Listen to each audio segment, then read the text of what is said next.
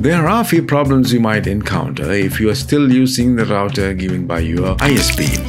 Just kidding, not cockroaches but everything else. This Huawei router, which my ISP charged $165 for, is now barely functioning. If you move 2 meters away from the router, the internet speed is abysmal and the router stops working intermittently and constantly needs restarting. To overcome these issues, I bought Asus ROG Rapture GT-AX 6000. This one definitely is overkill for my requirements, but I always fancied those Asus routers with the creepy looks and I found this one on sale. Let's Let's configure the device as per the ISP instructions. It looks like it's working. Let's test if the speed is fine in all rooms. I'm really impressed. I'm very happy with my setup. So, if you encounter the same issues with your Wi-Fi, you can switch to a better router. It is not as hard as you think. See you in another video. Cheers.